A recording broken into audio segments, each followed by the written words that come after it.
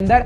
Nonveg विवाद के बाद जेएनयू में एक और विवाद सामने आया है। खबर आपको बड़ी बता देते हैं जेएनयू कैंपस में टांगे गए हैं हिंदू सेना के पोस्टर। और जेएनयू के मेन गेट पर हिंदू सेना ने भगवा झंडा फहरा दिया है। जेएनयू के आसपास भी हिंदू सेना ने पोस्टर को लगाया है।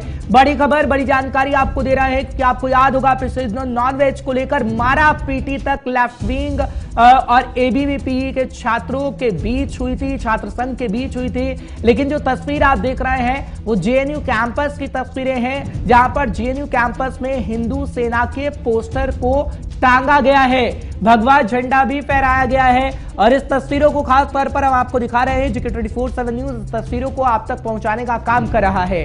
केशव मोहन मिश्रा इस वक्त हमारे साथ जुड़ गए हैं, हमारे संवाददाता तमाम जानकारी आप तक पहुंचाएँगे। केशव, बहुत बहुत शुक्रिया इस वक्त हमारे साथ जुड़ने के लिए। केशव, विवाद है कि थमता नहीं और जेएनयू का विवाद ये नया नहीं, पुराना है। लेकिन अब जिस तरीके से झंडे लगाए गए हैं पोस्टर लगाए गए हैं। क्या लगता है आपको कि तकरीबन एक से दो हफ़्ता अभी और हम देखेंगे जब इस पर बहस छिड़ती हुई नज़र आएगी कि नॉनवेज को लेकर जो विवाद उत्पन्न हुआ, वो थमेगा नहीं। लगातार ये जो घटना है, वो बढ़ती हुई जा रही है और जिस तरीके से जेएनयू कैंपस के बाहर आज जो तमाम हिंदू सेना के लोग हैं, उन्होंने पोस्टर लगाए हैं और पोस्टर लगाकर साफ़ तौर पर उनके तरफ़ से कहा गया है कि अब जो हिंदू है भगवा जेएनयू का जो है उसको नाम दिया गया है। बाहर अगर आप देखेंगे तस्वीरों में तो पोस्टर लगाए गए हिंदू सेना की तरफ़ से। और निश्चित तौर पर यह कहा गया है कि इस तरीके से जो नॉनवेज जो प्रकरण हुआ था, उसके बाद अब जेएनयू में लगातार पूरा मसला गर्माता हुआ जा रहा है। बिल्कुल केशव, लेकिन इसका नतीजा क्या निकलेगा?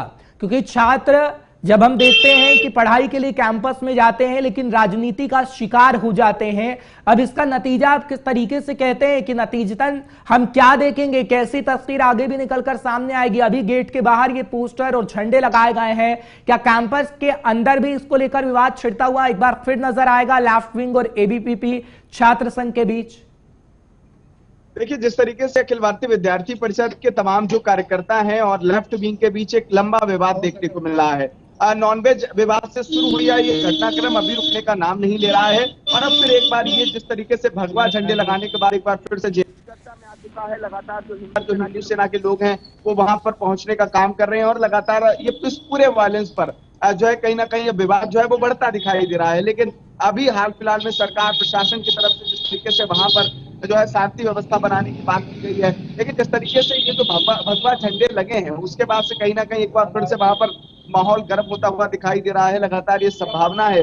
एक बार फिर से विद्यार्थी परिषद के कार्यकर्ता और लेफ़्ट विंग के जो कार्यकर्ता है उनके बीच आपस में भिड़त और एक विवाद देखने को मिल सकता है क्योंकि तमाम जो लेफ़्ट विंग के लोग हैं लेकिन क्या इंतज़ाम सुरक्षा व्यवस्था के भी किए गए हैं? क्योंकि रात के दौरान हम देख रहे हैं कि वहाँ पर प्रोटेस्ट हो रहा है।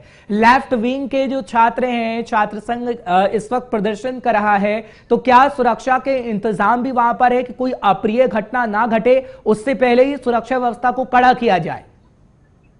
देखिए, बिल्कुल अगर हम बात करें तो जब से इस पूरी घटनाक्रम पर जो है कहीं ना कहीं विवाद शुरू शुरू हुआ था, उसके बाद से ही तमाम सुरक्षा बलों की तैनाती जेएनयू के बाहर कर दी गई है। सीआईएसएफ की बात करें बीएसएफ की बात करें तमाम जो जवान है, वो पूरी मुस्तैदी के साथ वहाँ पर तैनात हैं।